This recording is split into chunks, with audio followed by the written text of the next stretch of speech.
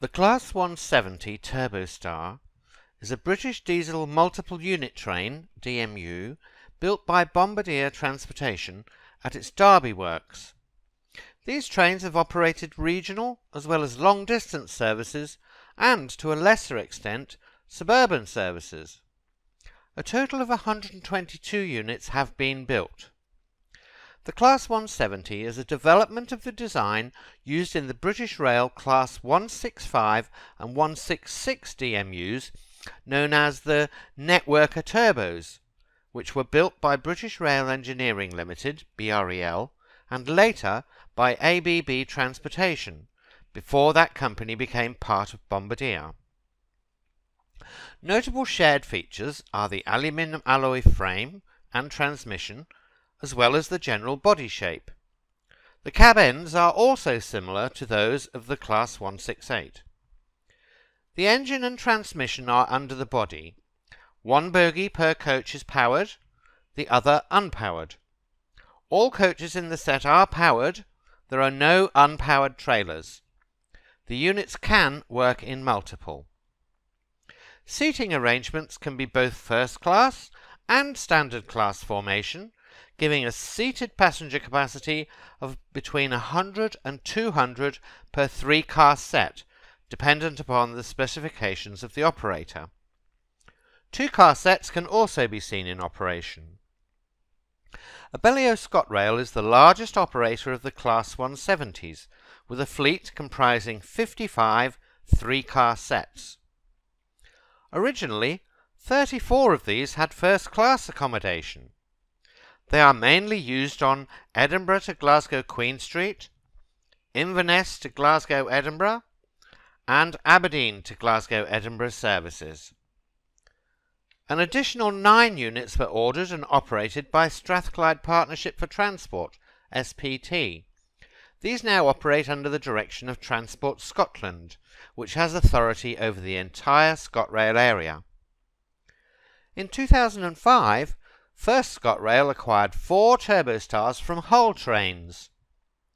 When they arrived, these units were in Hull Trains green and white, but were quickly reliveried into standard First ScotRail livery.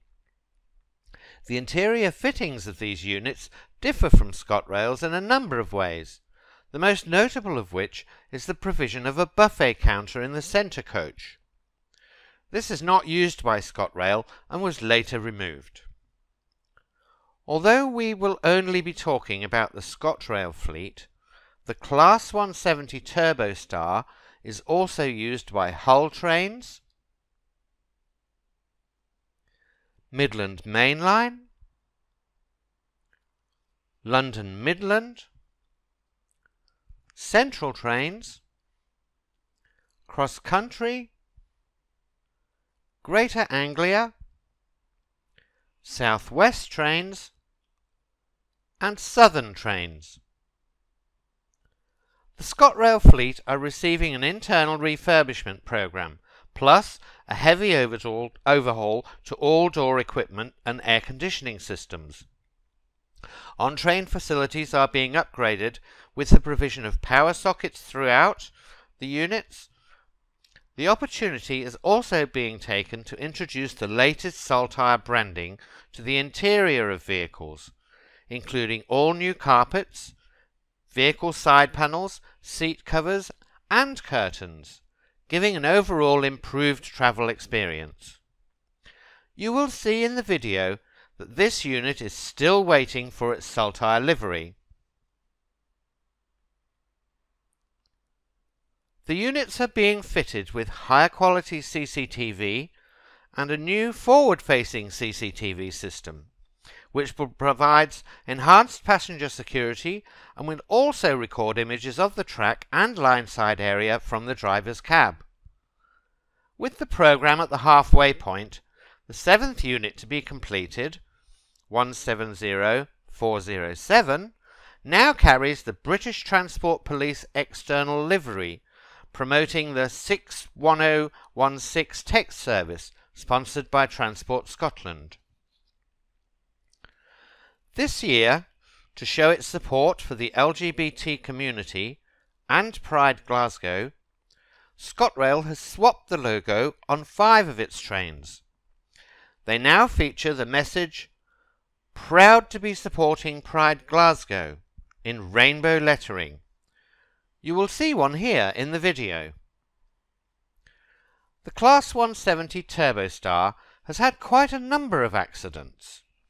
On the 12th of February 2004, the 6.25am ScotRail Aberdeen to Inverness service was carrying 16 passengers and two staff when it left the rails after a low-speed train derailment at Inverurie station in Aberdeenshire. Then on the 13th of November 2005, there was a collision with a car at a level crossing in Swainthorpe, Norfolk, on the Great Eastern Main Line. The car driver was killed in an apparent suicide. The front of the train was damaged as a consequence of the fire from the wrecked car.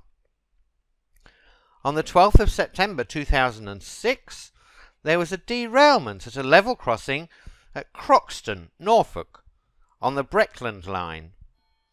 A panel that formed part of the level crossing had become dislodged and fouled both railway and road. On the 27th of July 2011, there was a derailment after crossing over a set of faulty points at Princes Street Gardens on the approach to Edinburgh. The train was running empty with only two members of crew on board. On July the 14th, 2013, there was a collision with a car towing a trailer on a level crossing at Woodbridge in Suffolk. That was on the East Suffolk line. Then on the 10th of April 2016, there was yet another collision with an agricultural tractor on a level crossing at Roundham on the Breckland line.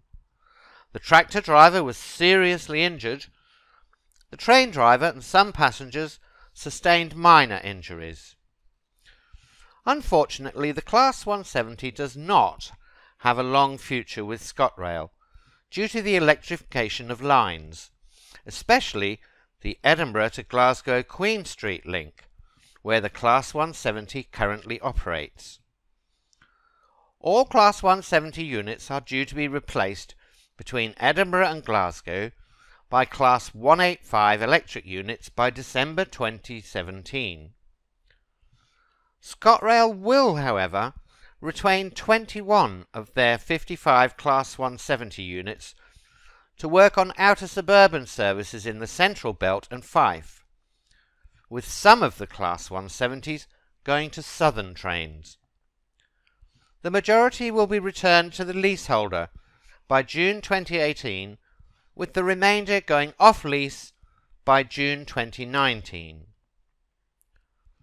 The Class 170 will be replaced by Class 43 HSTs on non-electrified long-distance routes in Scotland, such as the Edinburgh or Glasgow to Aberdeen and Inverness, from December 2018. So the last we will see of the Class 170s operating for ScotRail will be June 2019. Now for the review. The Class 170 is a very comfortable DMU with large windows offering a great view and with Wi-Fi and at-seat charging points. They are a lot smoother and quieter than the earlier DMUs of the Class 156 and 158. We have very much enjoyed using the Class 170 on many occasions between Edinburgh and Glasgow and will be very sad to see them go. I am afraid diesel units will always be noisier, dirtier, and less environmentally friendly than their electric counterparts. So we look forward to the introduction of the new Class 385 in December 2017. Thanks for watching. We do hope you enjoyed this review. Please like, share and subscribe to our channel for many more reviews.